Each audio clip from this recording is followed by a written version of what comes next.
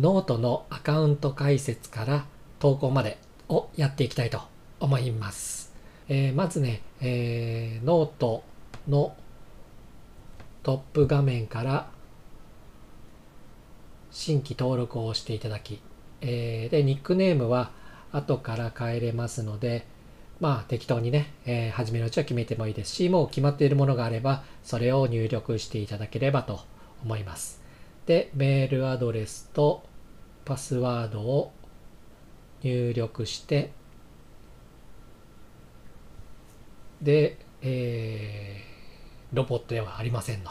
えー、認証ね。これね、私ちょっと苦手なんですけど、まあ、ここをね、えー、クリアして、えー、規約に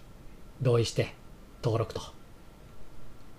もう登録のボタンを押すと、えー、実際にメールボックスには承認のメールが届いてますので、これは後で見ていきます。まずあの、興味のあるジャンルを教えてくださいというところがあります。まあ、これはね、適当に選んで押していただいて、次に行くと。で、そうすると、フォローを選ぶというところがあるんですけど、まあ、これはね、えー、何か興味がある方がいれば、チェックを入れてもいいですし、なければ全部外していただいて、次へ進むでも構いませんので、選んでいただければと思います。で、実際に次がノートのマガジンですね。ノートがいくつか、え、まとまっているマガジンっていうのがあるんですけど、まあ興味があるものがあれば選んでくださいねという項目があります。まあなければそのまま始めるを押していただいてトップ画面と。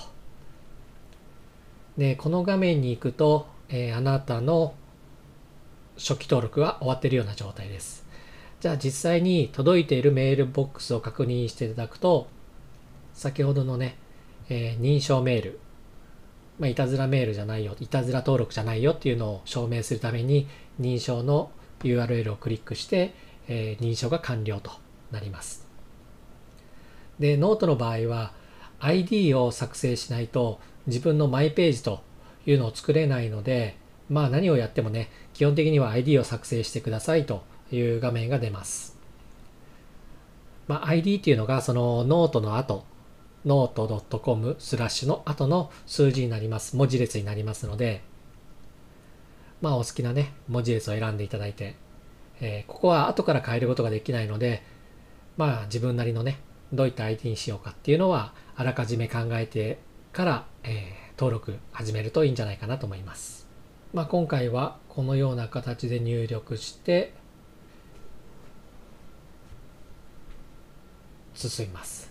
そうすればね、ノート ID が設定されて、えー、あなた自身のマイページというのが作成されますので、これで一通りすべてのことができる状態になりました。これが自分自身のマイページになります。ここに投稿していく記事などがどんどんどんどん追加されるということですね。で、こちらはトップページになって、例えばこういったノートのページで気に入った記事とか面白いなっていう記事とかいうのがあればね、好きをしてもらうと、えー、このようにね、ポップアップが出たりとか、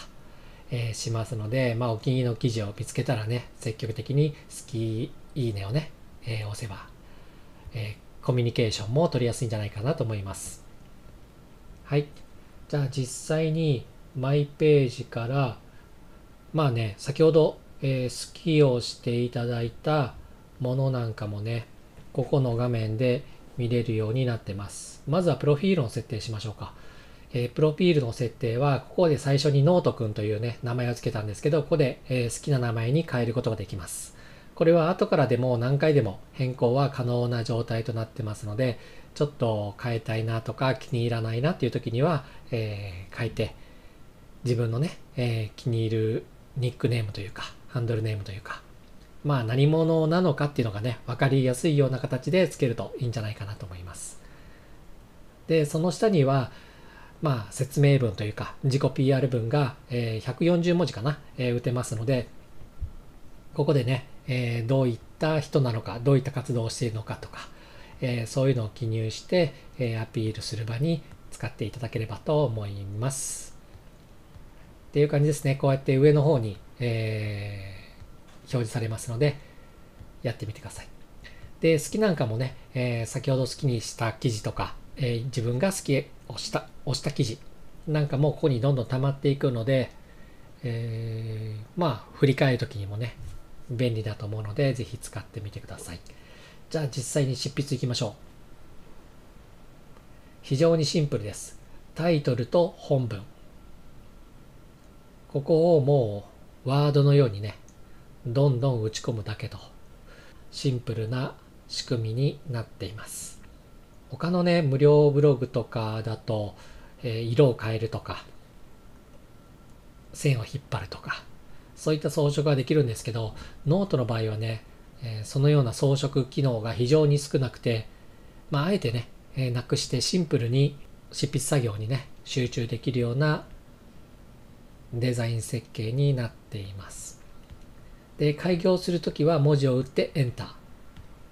そうすると開業ができます。まあ横文字なんかはねこういうふうに、えー、自動で折り返されるのでまあ一区切りねある程度、まあ、23行ぐらいかな。23行ぐらい書いたら開業するっていう方が、まあ、見やすいんじゃないかなと思います。私はこれをまあ一つのブロックというか、えー、塊と呼んでるんですけど、まあ、大体34行したら開業。34行したら開業。まあ長くてもねそれぐらいがいいんじゃないかなと思います。あまり短すぎてもやっぱ見ていて辛いですし、えー、長すぎるのもね読むのがしんどくなってしまうので、えー、適度に開業するというのがいいんじゃないかなと思います。でこのねブロックとブロックっていう形じゃなくて間を行間をね詰めて開業したい場合はシフトキーを押しながらエンターキーを押すと。そうすると行間を詰めた状態で開業ができますシフトキーを押しながらエンターを押すと行間を詰めた開業一度だけのエンターキーだけだと通常の開業という形になりますので、まあ、こういった基本操作は覚えておいていただければと思います。はい。じゃあ次、文字の装飾についてやっていきましょう。文字の装飾は非常にシンプルな形になっています。装飾したいところを選んで、まあ、見出し、強調、中央寄せ、リンクを入れる、引用する、コードを書くといったね、えー、これだけしかないと非常にシンプルな形になっています。じゃあ実際にどういった形にできるかというのをやっていきます。まず見出しに関しては、まあ、見出しをね、普通に書いてもらって見出しにしたい部分を選んで T を押すと。タイトルの T でここを押すと見出しに自動生成できます。で太くしたい場合文字をね強調したりとか、まあ、ここが唯一アピールできる、えー、文章の中で文字をアピールできる場所ですので効果的にね使っていく場所になるんですけどそこも太くしたいところを選んで B を押す。だけと。で、もう一度押せば元に戻ります。まあそこをね、何かしたいところを選んで押すっていうだけですね。で、中央ぞれしたいところも選んで押せば中央ぞれになりますし、もう一回押せば元に戻ります。まあ見出しなんかをね、中央揃えにしてる方もいらっしゃいますし、まあ僕もね、たまに使ったりするんですけど、見出しをね、え中央揃えたいとか文字を中央揃えたい場合には中央揃えを使うということをやっていただければと思います。はい。じゃあ次、リンクいきます。リンクを入れたい場合。まあ、例えばね、テキストリンクで、えー、ここのリンクっていう文字を URL を入れてリンクにしたい場合。ここでちょっと Yahoo を入れますけど、めちゃくちゃ簡単です。URL を貼り付けてエンターキーを1回押すだけで自動的にリンクになります。こうやってエンターを押すだけ。そうすればもう自動的にリンクになります。で、そのままアイキャッチ画像付きのリンクにしたい場合、まあ、テキストにリンクを入れるんじゃなくて、そのまま画像付きでリンクを作りたい場合は、貼り付けてエンターを1回押す。そうするとこのような画像付きのリンクが出来上がります。見た目もね、非常にスッキリして、まあ、どのような記事なのかっていうのも分かりやすいので、えー、ぜひ活用していただければと。まあ、こういったのもね、えー、専門的な知識が必要なくただ単に URL を貼り付けてエンターを1回押すただそれだけでこういった画像付きのリンクというのが作れますのででもしいらない場合はゴミ箱のマークを押してもらうと、えー、削除できますのでぜひ試してみてください。じゃあ実際に投稿してみます。まあ、今回はテスト記事という形なんですけど、まあ、このね初めての note、まあ、こういった note。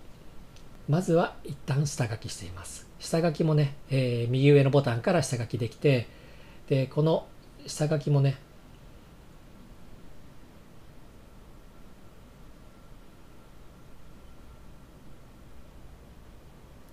記事のところからもう一度編集を押せば再度下書き保存したところから再開できますのでまあ途中で書いてまた今度後日書こうかなっていう時も、えー、気軽にできるのでぜひ試してみてください。じゃあ実際投稿いきます。投稿は右上の投稿画面を押していただいてでハッシュタグこれが必要であれば設定してもらうと。で、その下にね、えー、現在ノートでやっているキャンペーンとかお題とかもありますので、まあ、それに参加する場合はね、それを選ぶだけで、ハッシュタグが自動的に生成されます。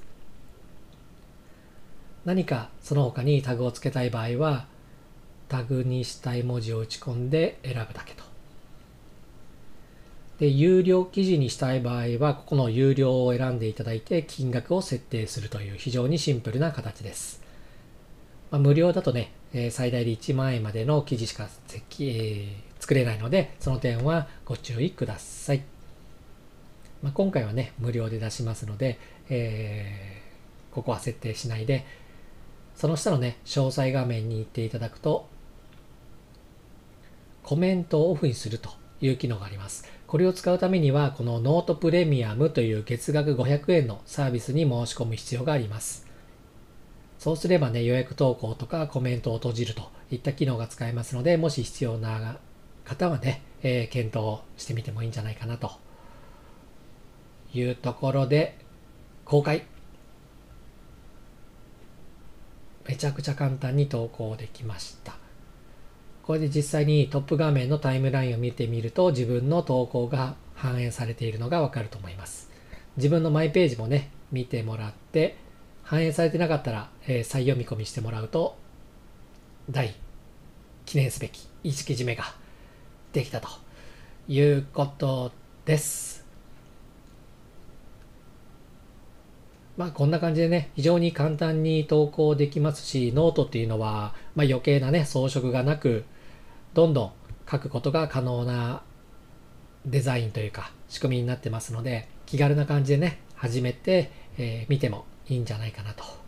いったところです。で実際に今回はアカウント開設から、えー、投稿までやりましたけどまたわからないこととか操作で、えー、不明な点があればこういった動画に出していければと思いますのでまたよろしくお願いします。じゃあ本日は以上です。